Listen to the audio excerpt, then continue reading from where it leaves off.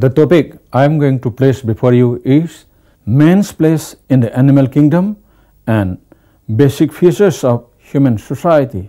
Now let us see man's place in the animal kingdom.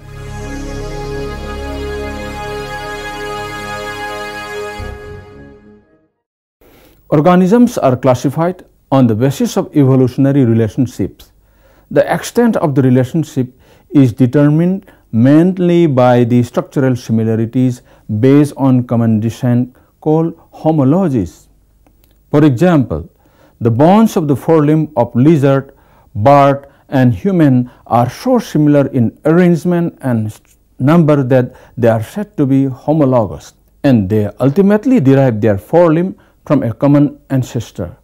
Structures that are functionally similar but without genetic affinity and not derived from a common ancestor are analogous.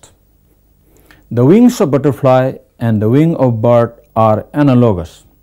They perform similar function but are without genetic affinity. Prosimians like lemurs, lorises and tarsiers, then monkeys, apes and men are classified as primates because when the nervous system, especially brain, teeth, limb, digits and other physical traits of these animals are examined, it becomes clear that they share common ancestor. Similarly, homologies of lions, tigers, leopards and the domestic cat bring them together into one group that evolved from a common ancestor. The system of classification based on homologies is attributed to the Swedish botanist and naturalist Carolus Linnaeus.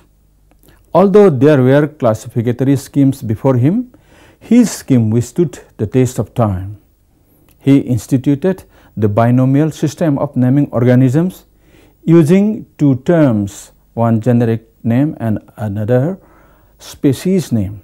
Thus, he named domestic cat as Felis domesticus, the lion is Panthera leo, and man is Homo sapiens.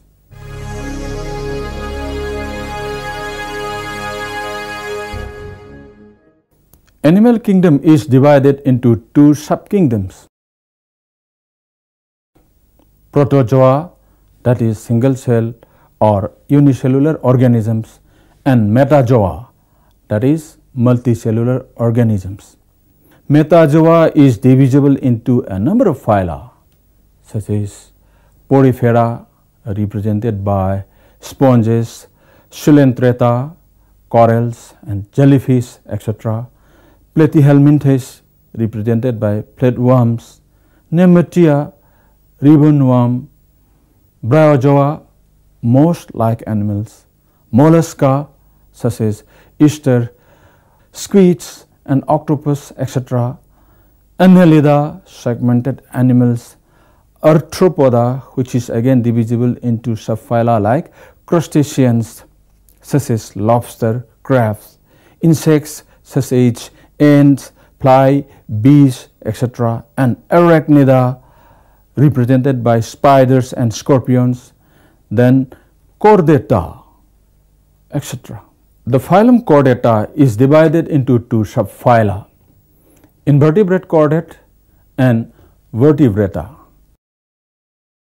Vertebrates, the most numerous of the chordates, are different in certain ways from all other metazoa.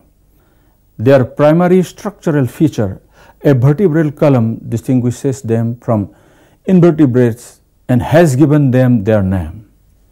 The subphylum vertebrata is divided into five classes such as Pisces that is fish, amphibia represented by salamanders and frogs, reptilia like dinosaurs, snakes, lizards, crocodiles, etc., and Aves that is birds and mammalia, animals that nourish or suckle the young ones with mammary secretion.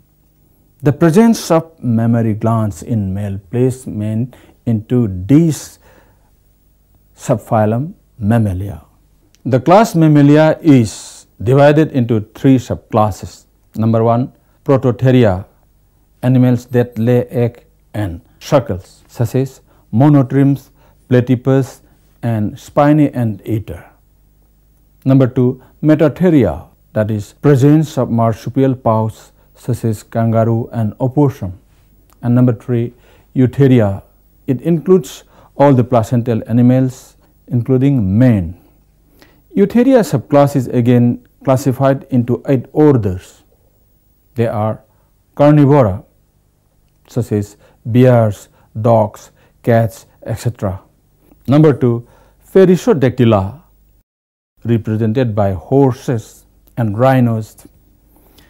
Number three, Artiodactyla represented by cows, pigs, hippos, camels, deers, etc. Number four, Proboscidea such as elephants. Number five, Rodentia represented by rats, rabbits, squirrels, beavers, etc. Number six, Chiroptera that is represented by bats. Number seven, insectivora such as tree shrews, moles, etc. Then number eight, primate. Prosimians, monkeys, apes and mankind belong to primate. One of the best descriptions of primate is given by Mivart in 1873.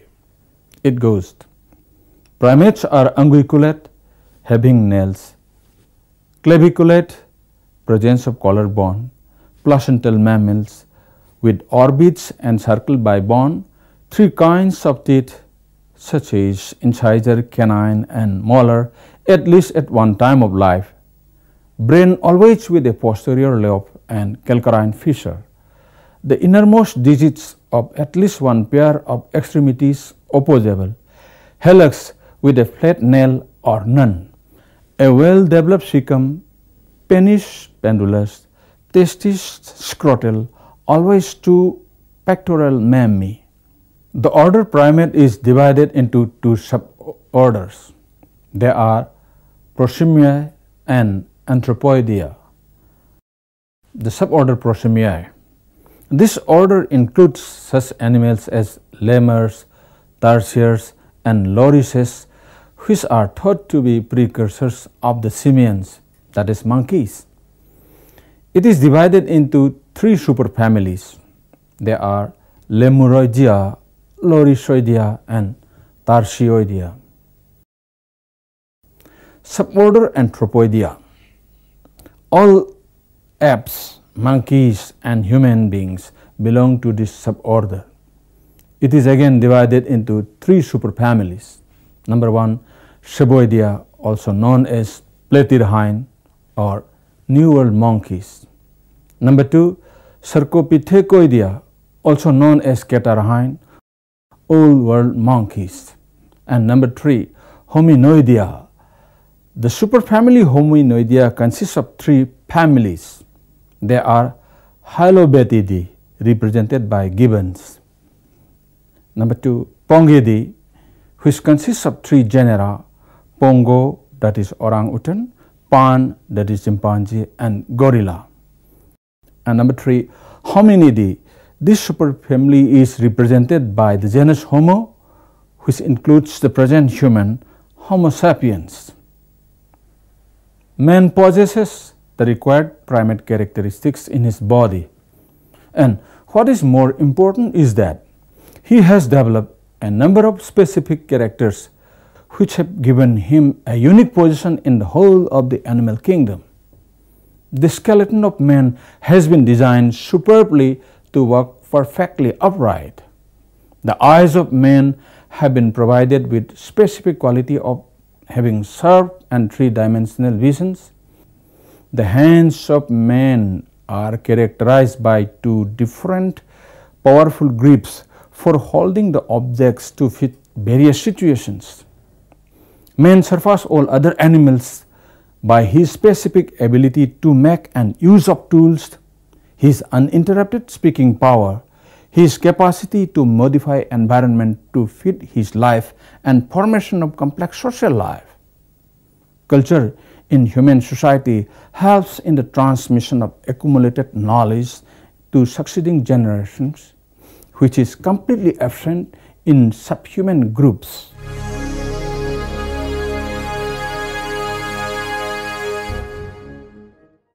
Let us now discuss the basic features of human society.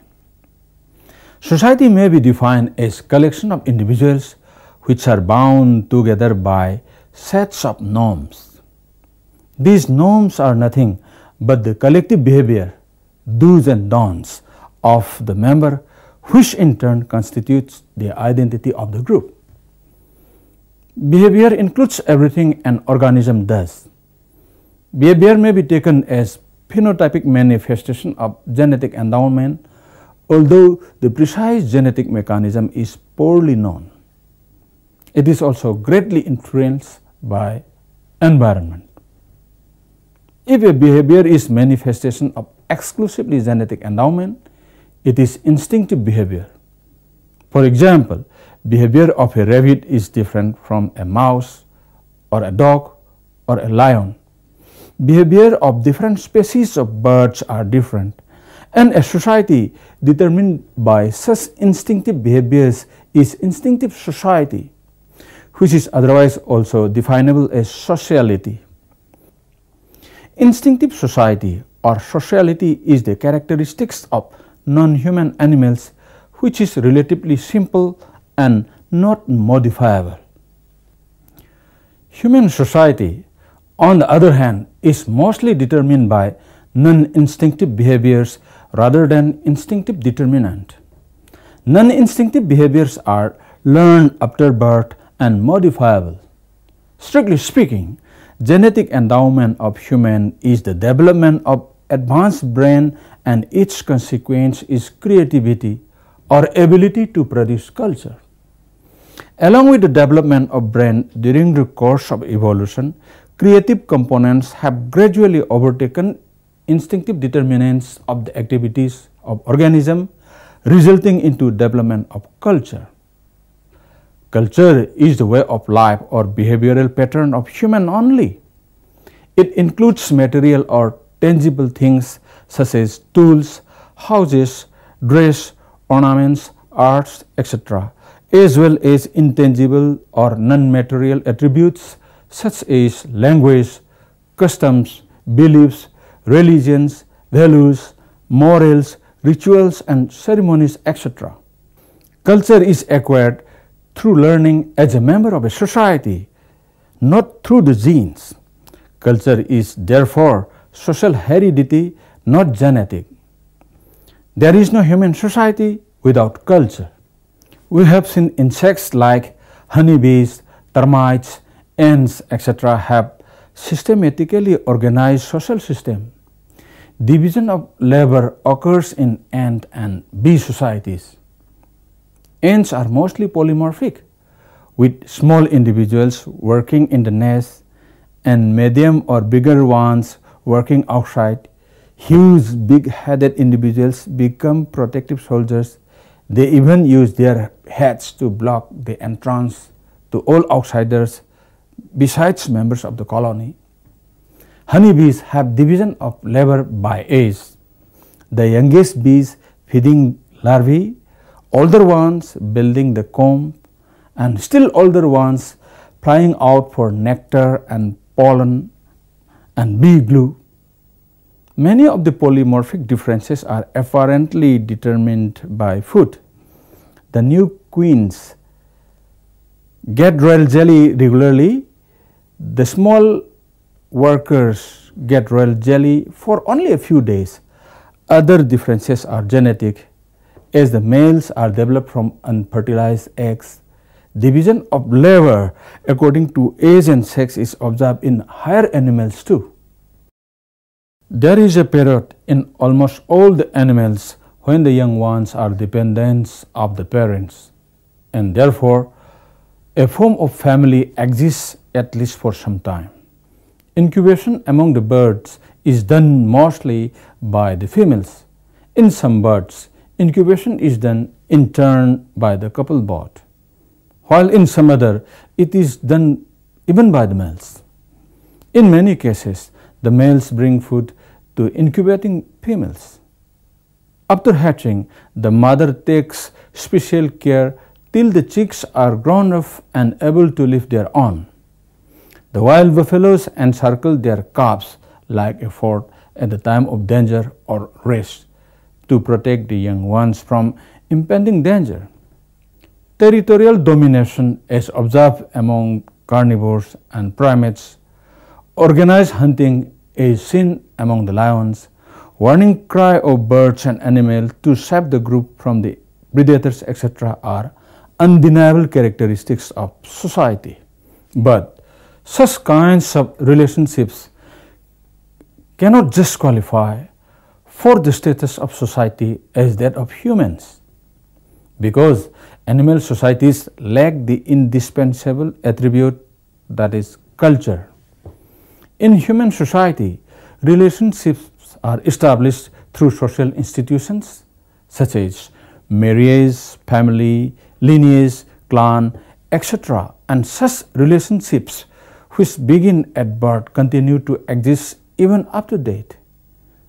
The members of a society are bound together by common language, customs, beliefs, rituals, religion, etc., which are learned as a member of a society. If a Chinese baby is brought up in England, he will speak English and behave exactly like an Englishman does except for the appearance. Same will happen if a Negro baby is brought up in China. This justifies that culture is not genetic but learned. A cuckoo hatched by a crow mother never behaves like a crow. Elsa, the famous lioness brought up by Joy Adamson and George Adamson, adopted her bestial nature when she had cubs. She neither brought her children closer to her masters nor taught the cubs what she had learned from humans. This is what we call instinctive behavior of animals. The houses of termites are castles with single construction to set rains and porous outer layers to control carbon dioxide and humidity are so sophisticatedly constructed that the most dexterous human hands cannot match it. The nest of weaving birds is so delicately woven with reeds and twigs that the most skillful human hand will find it difficult to imitate it. It is the male or prospecting husband to weave it and the females examine the quality if it is not satisfactory, the female will tear the nest and the male has to build it again. We have seen chimpanzees using stick to fish out termites from the moons, use stones to crack nuts and throw stones to ward off intruders. Such activities of animals, however, never develop further throughout the ages. Castles of termites remain the same no weaving bird, after seeing the houses of human, ever attempts to modify the original design by putting a window of leaf. Chimpanzee has never been seen developing the idea of sharpening a stick to make it more effective. These are indicatives that the brain of non-human animals lacks the faculty of creativity that humans have. Culture is the product of creativity.